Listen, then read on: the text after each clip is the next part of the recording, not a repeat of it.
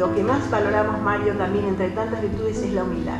¿eh? Eso es fundamental. Y por eso este merecido reconocimiento, señor presidente, que hace y que te hace Mario el pueblo de la ciudad de Bahía Blanca a través de los concejales. Gracias, Mario. ¿Qué pasa por su cabeza después de escuchar bueno, los grandes elogios y palabras tan importantes que le han hecho todos los concejales? Y bueno, me alegra porque yo no me puedo creer que todo eso sea tan cierto, pero bueno, si ellos piensan que es de esa manera, tampoco vamos a, a pensar de otra forma, pero yo lo que sé que todo lo que luché en mi vida para el bien de mis hijos, de mi esposa que se me fue, fue para ser un poquito más feliz. Y creo que lo logré, a pesar de los contratiempos que tuve y todo, traté de, de seguir adelante y de explotar lo que quedaba, lo sano y no quedarme rezongando por lo que ya no estaba.